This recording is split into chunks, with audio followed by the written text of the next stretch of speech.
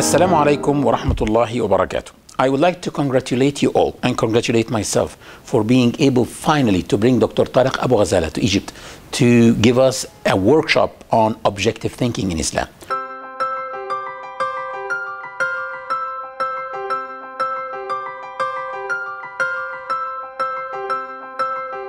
Objective thinking and Tariq Abu Ghazala changed my own life. They caused a paradigm shift in me.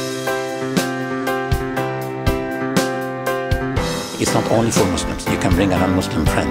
He or she will benefit a lot from this workshop.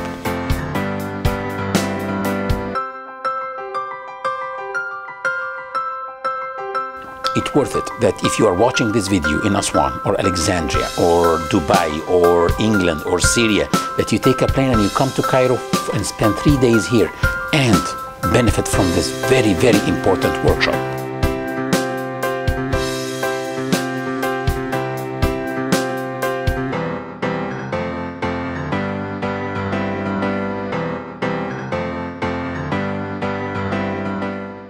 See you all in the workshop, inshallah.